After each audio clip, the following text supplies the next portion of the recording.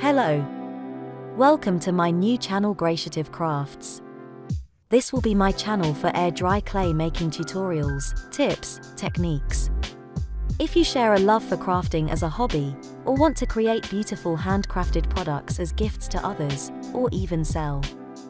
Stay tuned to more fun inspirations, ideas, and showcase of my personal handmade products. This channel is meant for anyone who is interested in learning clay making on any level. Let's craft beautiful creations together. Today, we will be making We Bare Bears plate.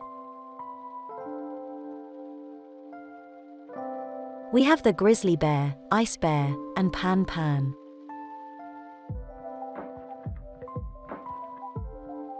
Let's start off with preparing our materials and supplies. Here are what you need to make the clay plates.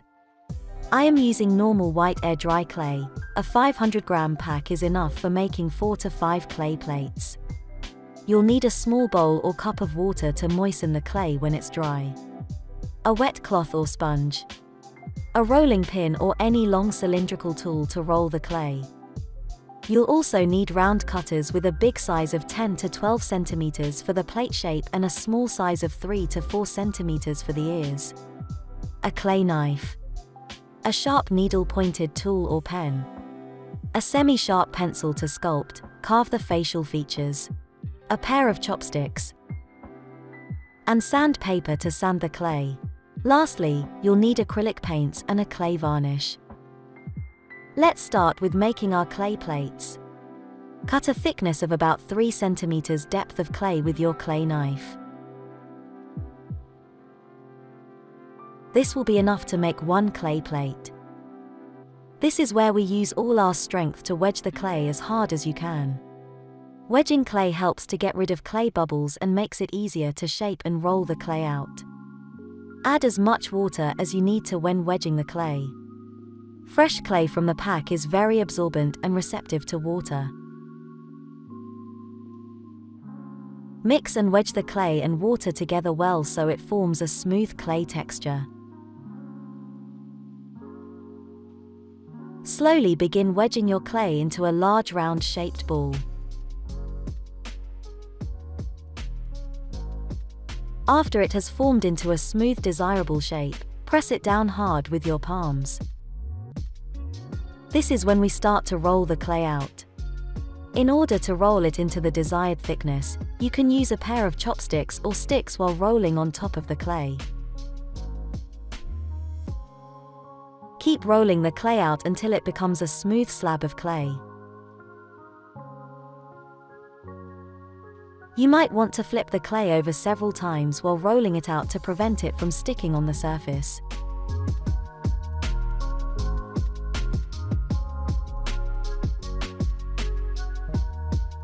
When you find that the clay is starting to dry out or crack at the surface, use a damp cloth or sponge to gently dap and wipe the areas. You can also use a bit of water to smoothen out any blemishes that appears on the clay.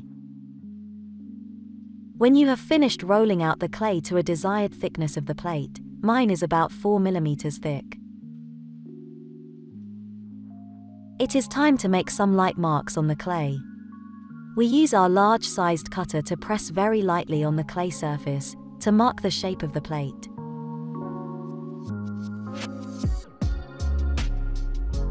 Then, using the small round cutters to mark the ears. Both circles at the top with a slight distance between them. Again, only a light mark, don't use full force on it. You can use any round shaped items which matches the size of the plate and ears you want. Use the clay knife to slice out the shape following the line markings.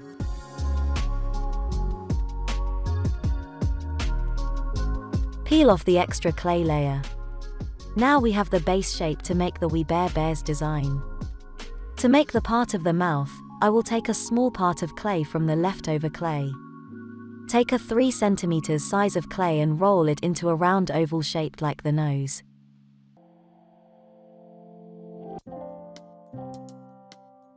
To attach the clay piece on, we will score some marks on the back of the piece and then add a bit of water on it. Then, doing the same on the area that we will be sticking the mouth on. Place the scored area of the nose onto the scored area of the plate and press it down firmly but gently. Press and hold for about a minute and let the clay fully stick in.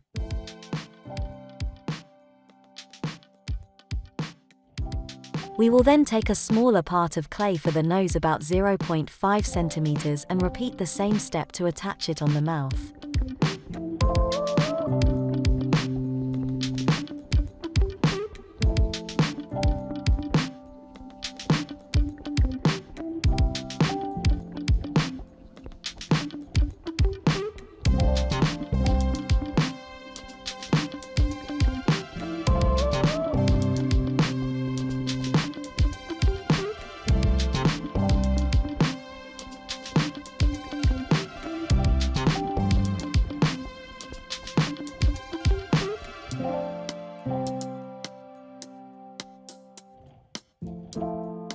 Since the We Bare Bears all have this same base shape, we will be using all these same previous steps to make the three designs.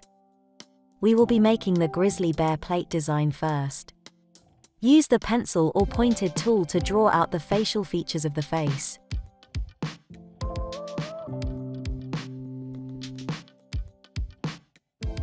For Grizzly Bear, I will be drawing out his iconic grinning mouth. When carving out the details, keep your pencil or pointed tool at a slight angle and go over lightly. Keep in mind that you can always use water to go over and smoothen out any mistakes that you make on the clay. Also allow the clay to dry first between the next marking.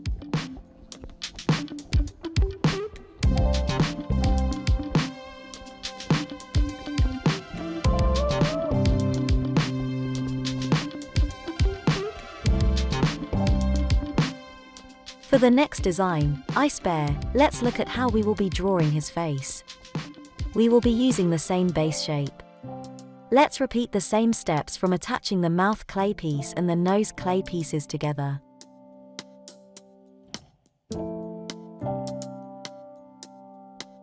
Ice Bear's face is slightly simpler to carve with his iconic sulky mouth.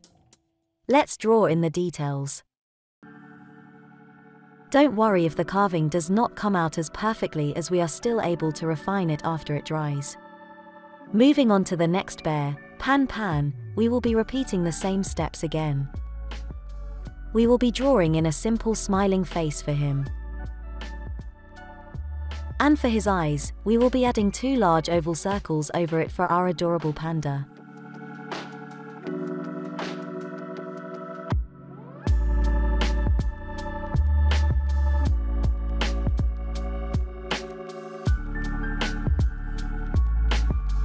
Lastly, not forgetting his collar line.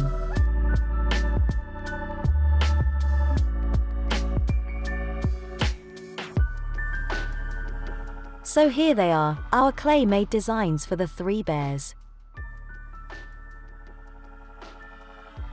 In order to make our clay piece into a plate, we will put it into these round-shaped bowls, and leave it to dry for about 24 hours. You might have to press in the clay slightly to form it into the shape of the bowl.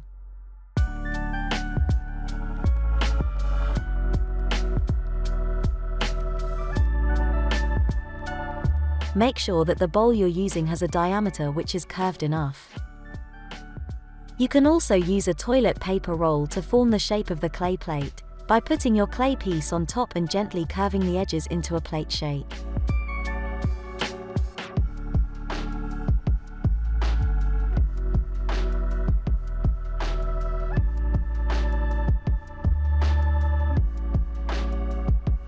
Tada! After leaving it for about a day, our clay plates are ready to sand.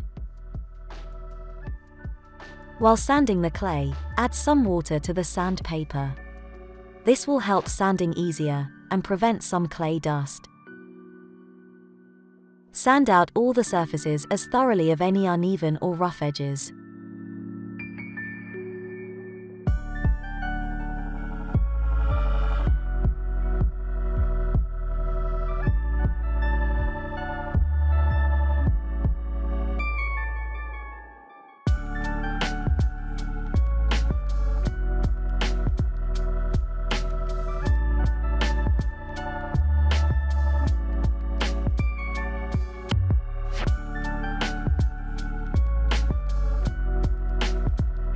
To further smoothen the surface, I will be using a sanding sponge, with water, to sand the clay out.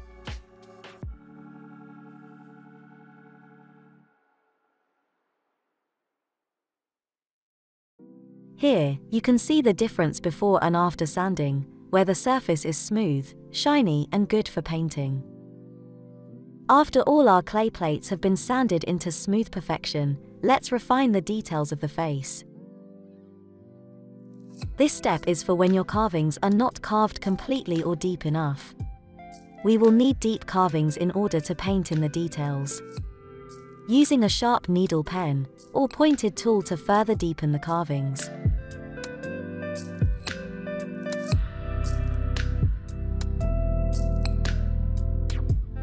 You might want to use a brush to brush off the excess clay dust. After refining all the details of our clay plates, they are now ready to paint. I will be using acrylic paints to paint them. For painting the grizzly bear, we need brown, black and pink paint. While for ice bear and pan pan, we just need black and white paints. Let's start by painting the whole surface of the plate in their body color. Add a bit of water mixed with the paint and go over in long full streaks. We will be using brown colored paint for grizzly bear, so go ahead to paint the whole plate in this color.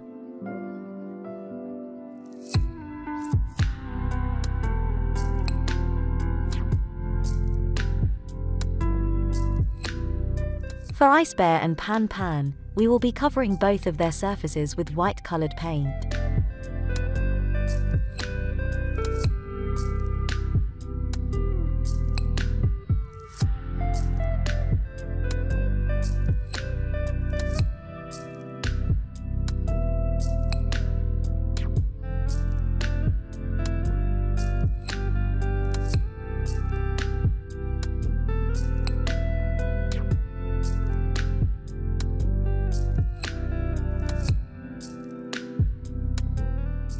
Make sure that the whole surface is covered thoroughly in paint and there is no remaining area that can be seen of the clay.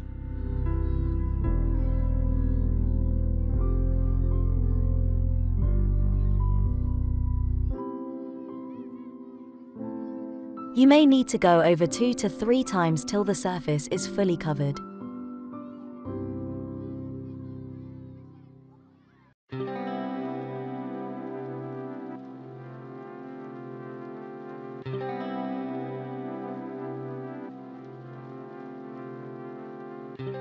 After painting over the whole plate, we will paint their facial features using a smaller brush. Make sure to wait a few minutes before the initial layer of paint has dried first before adding a new layer. Using the black paint to fill up the eyes and over their nose.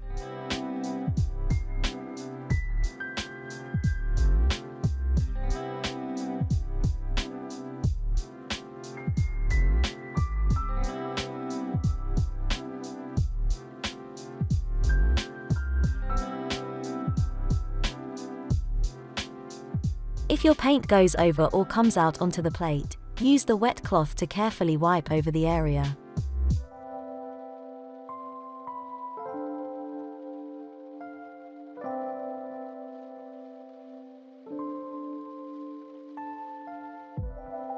Continue using black paint for the rest of Ice Bear's and Pan Pan's mouth. Now, we will have to create grey colour paint for Pan Pan's eyes. I will be mixing 1 quarter of black paint to 3 quarters of white paint. Following the lines that you have carved to go over Pan Pan's eye circles, ears and collar neck.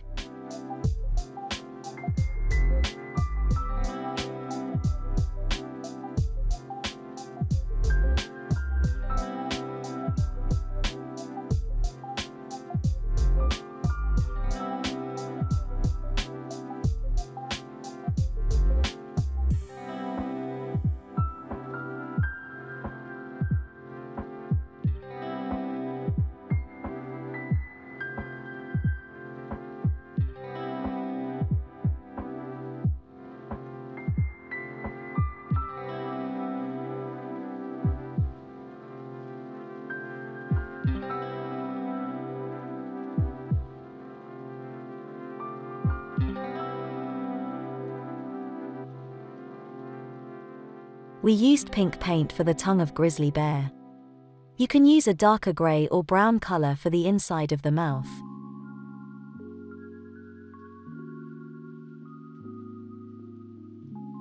The teeth is painted white colour. Our clay plates for We Bare Bears are almost complete. Now, let's leave it to dry fully for about a few hours. You can leave them to dry on top of the toilet paper rolls. Here comes our final step, which is glossing of the clay plates. I am using a Liquitex gloss varnish for acrylic paint. You can use any kind of varnish as long as it is meant for acrylic paint. Adding the varnish layer helps to protect the surface layer of the paint, and also adds the extra satisfying gloss finish to the clay plate. Start first with the inner concave side of the plate. You can choose to pour the varnish directly, or use a large brush or spatula to spread out the varnish onto the surface.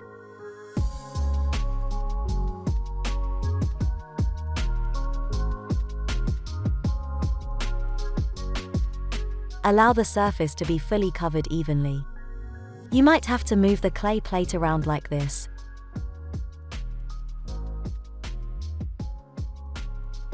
After the inner side of the plate is fully varnished, leave it to dry for about 3 hours. After the first side is fully dried, we move on to the other back side of the plate. Repeat the gloss varnish step. You might want to place it on top of a damp cloth to avoid it sticking on the table surface.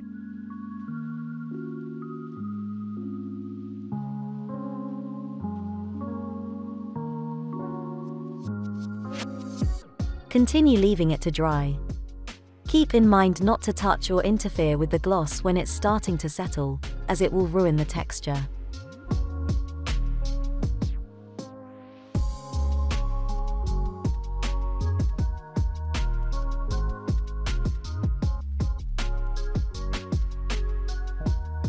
You can then later add in more layers of gloss varnish, if you'd like it to be thicker. It is recommended to do about 2 to 3 layers for good protection. Remember to leave at least 3 hours in between.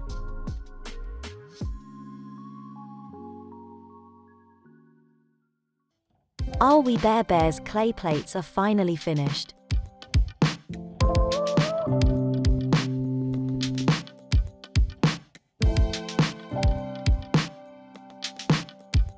These clay plates are the cutest, you can use them as trinket dish plates for your accessories.